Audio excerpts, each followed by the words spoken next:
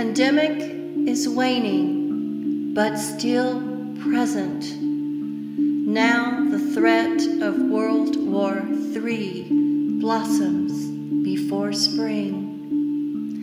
Evergreen, mesquite, and cacti are unchanged as I learn more friends are dying.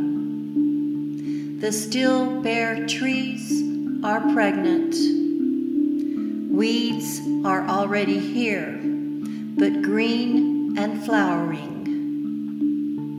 I leave them and love them for now.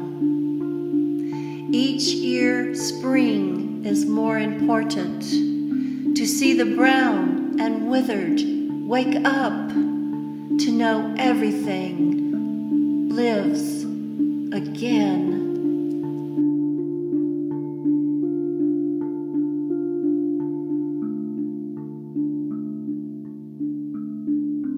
Four a.m. again, and no sleep.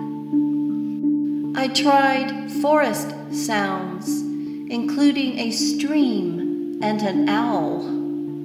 I tried happy TV on um, traveling, remodeling, and other animals in their habitat. I tried counting breaths and soft music.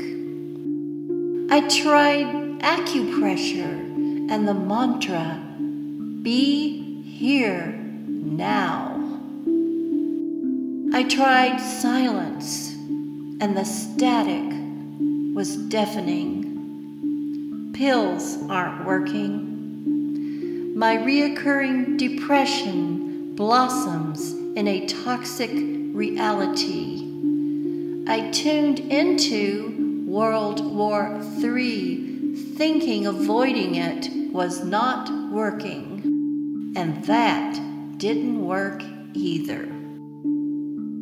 Over 5 million refugees from Ukraine have run for their lives. My heart races with them as my body slowly disintegrates and the world as we know it explodes and burns.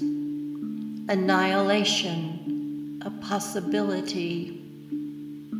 Night is too dark for sleep.